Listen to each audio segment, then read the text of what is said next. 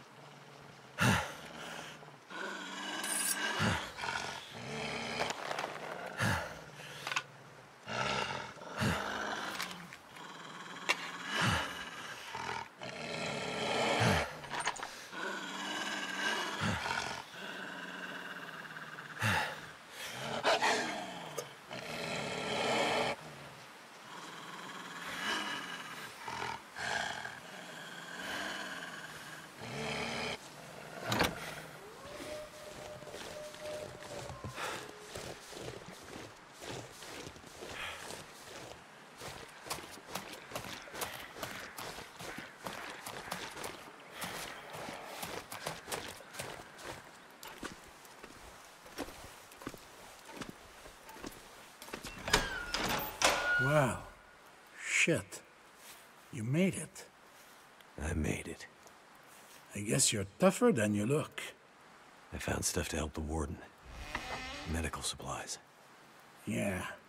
You'd better get in there to see him. He doesn't look too good. But first, you gotta let me frisk you. Mattis would have my balls if I let you sneak a knife in here.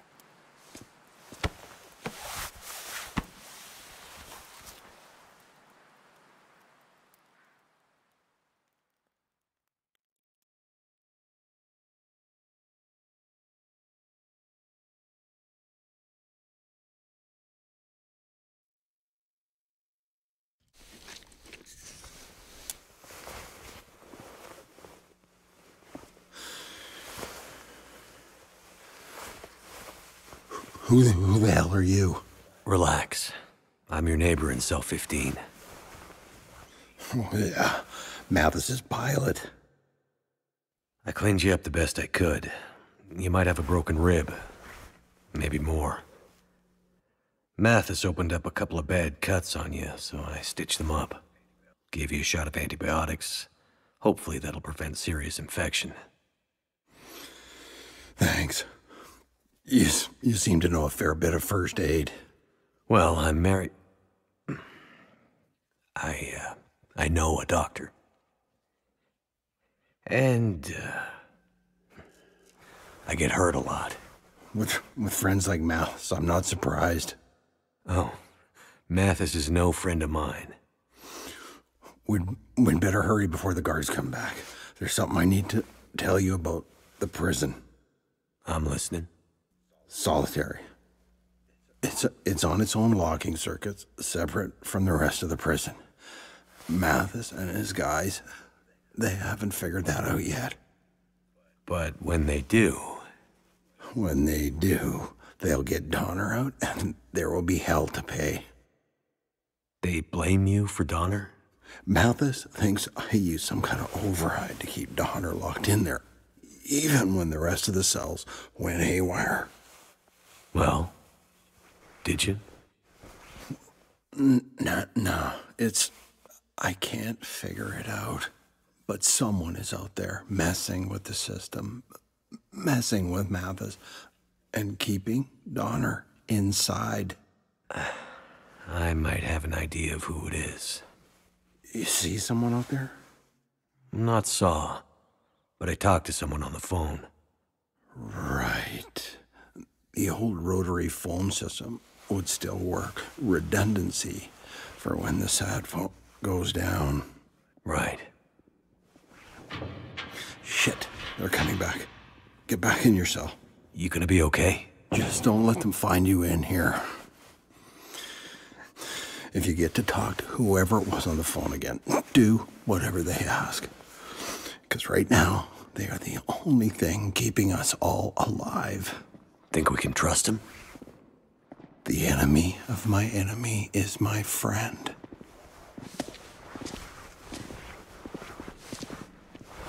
Hey,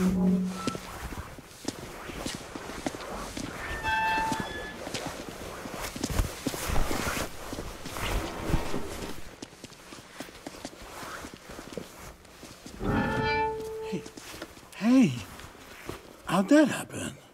Wow. yeah. Must be glitchy. These idiots think I'm a fool. They don't think I can figure out what happened here. That they were too chicken shit to take care of the warden themselves. And sent you out into the cold to do their dirty work. And you, risking your life to save a guy you don't even know. What a fucking Boy Scout. That's me. You still don't get it. Don't you see that in this new world, Mackenzie, Boy Scouts will be the first to die? And yet, here I am. Well, smartass, if you're gonna make yourself useful, you're gonna make yourself useful to me. Am I? Yes, you are. And why am I gonna do that? Well, because Hard case. Right. Get back out there, pilots. Go find out what's wrong with this place. What do you have in mind? Well, obviously there's something wrong with the power. Though he's been no help, a map in the warden's office shows this place has its own power plant, so go check it out. Get me some power, so I can open the gates to solitary. Right. Power. Solitary. Got it. And Mackenzie, Yes? don't dawdle. Or the warden gets it for real this time.